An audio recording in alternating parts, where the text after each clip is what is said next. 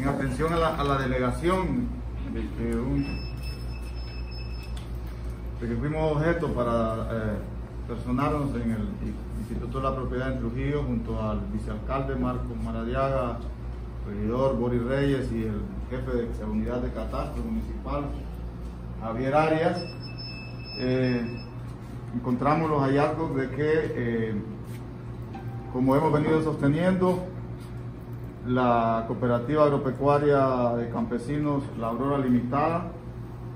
eh, mantiene un remanente como resto registral de su título de propiedad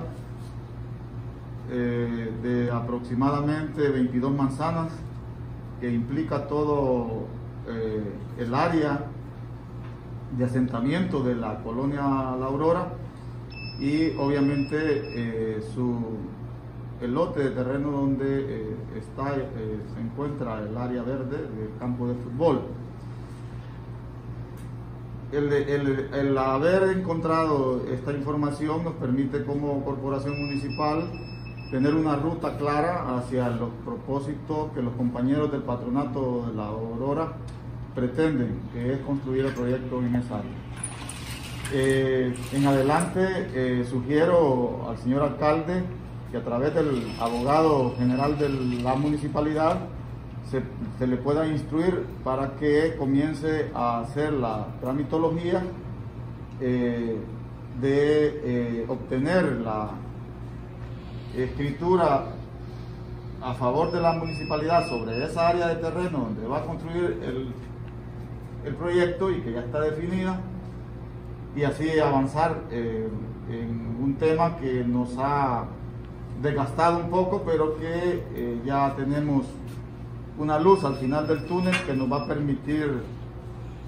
primero cumplir con la palabra empeñada a los compañeros que eh,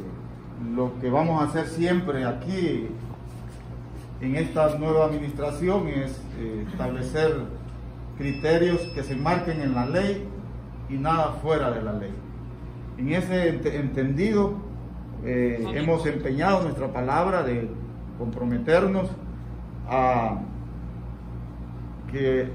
a través del liderazgo del señor alcalde podamos ir avanzando en la búsqueda de eh, fortalecer no solamente los lazos con el patronato,